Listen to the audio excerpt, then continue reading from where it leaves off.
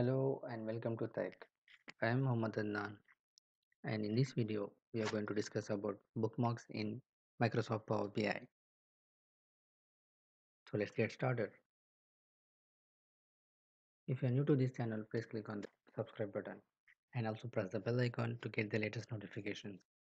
Bookmarks in Power BI is such a cool thing that we can display the data without any user interaction or filtration.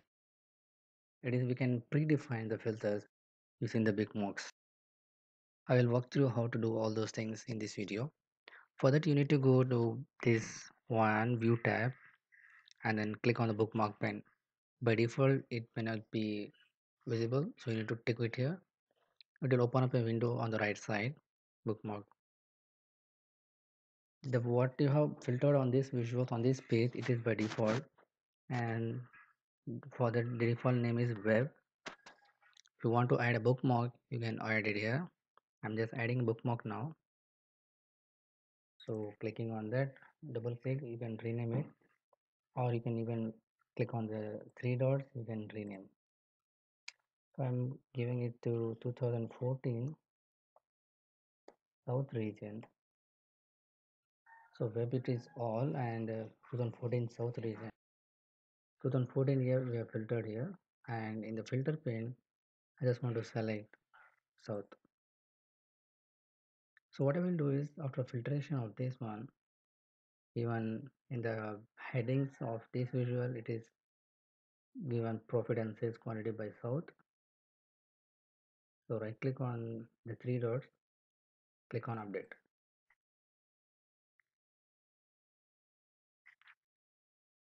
so I made a video on the uh, dynamic header changes. If you haven't seen that just click on the link given on top of your screen. Coming back to this one I want to create one more. So click on add. 2015 south. So by keeping the filters same I want to click on 2015 in the year the visual change and on three dot click on that. Update. It also updated. And if you click on three dots you have options like update rename delete. If you want to delete you can delete it here. Click on add. And also if you have one more option like group. I'm just clicking on group groups. So i will rename it to south. I will just drag and drop this one 2015 here 2014 here and I want to keep it here. 2016 south. So by clicking on that I want to use this option 2016 filter. And clicking on the three dots click update so you have option like view here. I'm just clicking on that.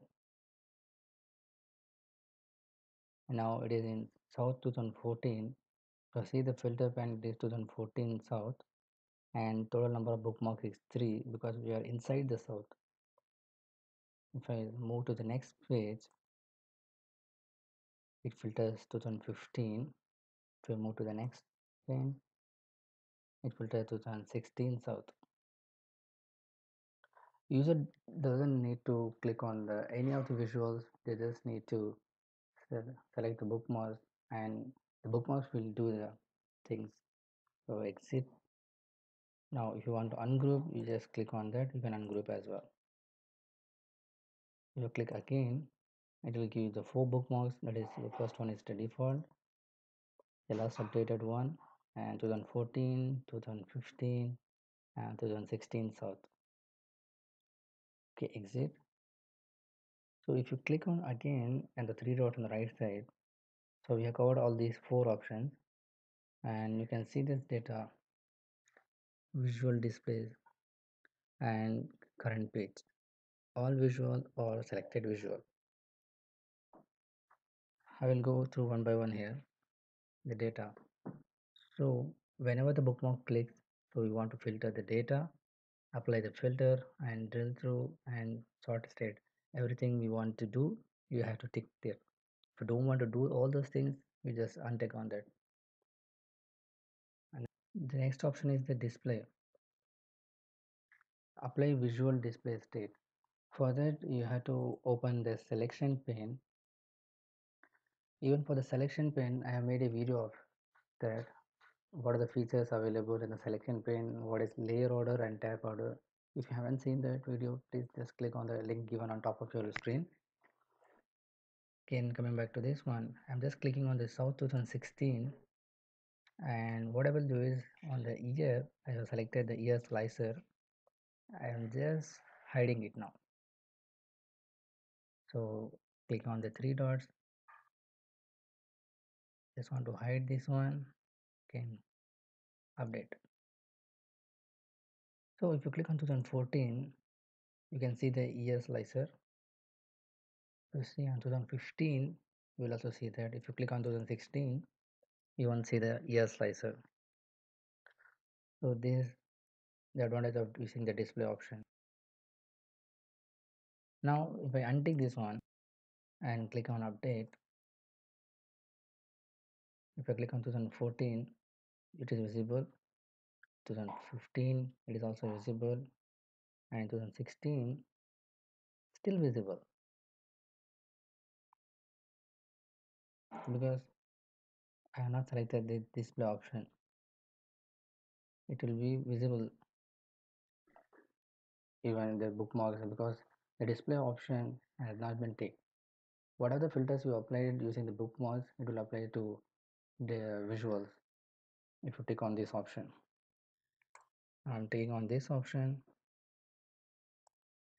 Here.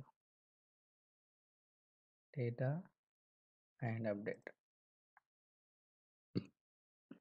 2014 visible 2015 is visible. 2016 is also visible because it changed the slicer if I can click on this one and clicking on the display as well and clicking on update. So if I go to 2014 it is there. 2015 it is also there. Click 2015 it is not there. So if you tick on this one this also applies to all the visual state whether it has to visible or it has to hide. Okay. And switch to associate page or only the current page so I want to apply this feature only on the current page. Then the bookmark has to apply to all the visuals on this page or a particular visual. So if you select all visuals you can it will apply to all the visual state. Say for example if you want to say only the selected visual um like what i will do is i will just add so coming from the beginning again 2014 the slicer is visible. 15 also the slicer is visible. 2016 this slicer is visible but you have to update also this one that this slicer 2016 this slicer should be turned off so click on the all visuals and apply this one. In 2016 year has to be hide and text box has to be visible and click on update. To click on the views.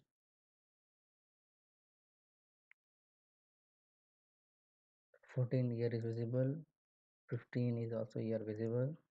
And in 16 it's just visible the ear not the slicer. Click exit. So hope i have explained well for the bookmarks the features and options available in it. If you like this video please click on the big thumbs up button and share it with your friends and colleagues. If you are new to this channel please click on the subscribe button and also press the bell icon to get the latest notification please post your comments queries and feedback in the comment section below and also i'd like to know what are the other features you want to know about the power bi whether it is the Power BI Pro, DAX, or Power BI Desktop, or data modeling. Please let me know in the comment section below. Thanks for watching, keep learning, and see you in the next video.